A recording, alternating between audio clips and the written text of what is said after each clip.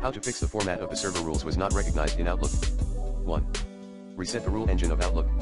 1.1 Export current Outlook rules. 1.2 Terminate all Outlook related processes with Task Manager. 1.3 Run the following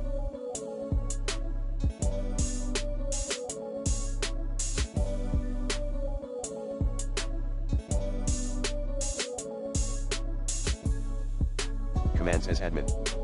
C colon backslash program whitespace files backslash Microsoft whitespace office backslash root backslash office 16 backslash outlook.exe slash clean rules slash clean client rules equals to delete client side rules slash clean server rules equals to delete server side rules 2. Add all currently enforced rules after deleting them. To do so, export your Outlook rules. Restart your app. Now reselect manage rules and alerts. Note, choose the client entry. 3. Delete the latest rule from your Outlook.com account. 4. Reset the Outlook.srs file at c colon backslash users backslash username backslash app data backslash roaming backslash Microsoft backslash 5.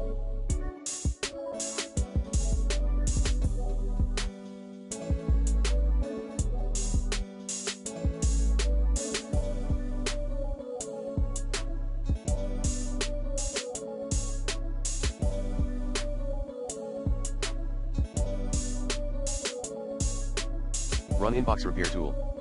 Inst, Outlook 2016, C colon backslash program files, x86, backslash Microsoft Office backslash root backslash Office 16.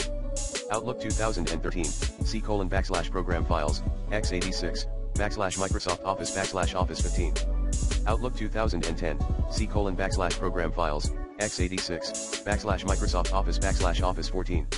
Outlook 2007, C colon backslash program files, x86, backslash Microsoft Office backslash Office 12.